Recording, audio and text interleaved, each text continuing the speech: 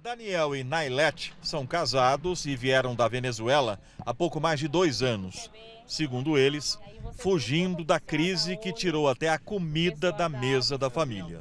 Muitas vezes eh, nós dormimos sem comer, nossas filhas dormiam sem comer. Eu deixava que minhas filhas dormieram muito de manhã, até 10 horas de manhã, para elas não sentir fome. Para levar o sustento do, do dia para minha casa, eu tinha que vender coisa, peça do meu carro. Eu tinha dois carros.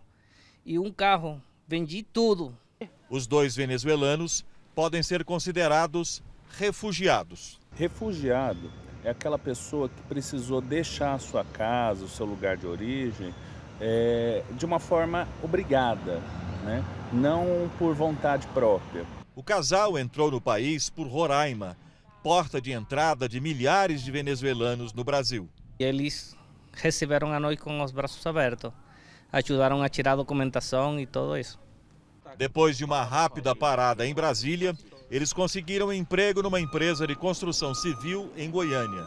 A empresa ela não rotula quem ela entra para dentro, então, então ela tenta contratar todas as pessoas que precisam de oportunidade. A empresa propõe esse tipo de oportunidade e no caso, ela trabalha também com, esse, com esse, essa questão dos refugiados. Ela, que trabalhava com marketing, faz acabamento de pisos e revestimentos. Ele, que era petroleiro, virou eletricista. Ganham para o sustento de duas filhas aqui em Goiânia e ainda mandam dinheiro para a terra natal. Um pouquinho para cá, um pouquinho para lá e assim. E aí administramos e dá certo, graças a Deus. Em Goiânia moram estrangeiros de 71 nacionalidades diferentes. Por causa da crise no país vizinho, a maioria hoje é de venezuelanos. Gente como a Nailete e o Daniel são mais de 1.300 pessoas. Goiânia é muito assim, é muita cidade. Para, muito grande. É, é muito é. grande, é muito, é muito longe todo. Onde nós morávamos não é, não é longe assim.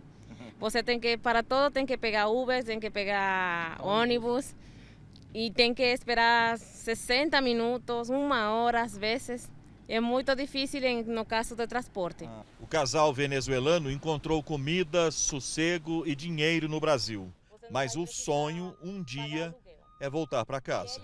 Minha mãe, minha casa, temos tudo lá.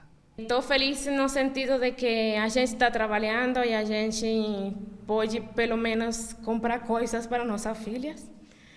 E se quero voltar porque minha família está lá.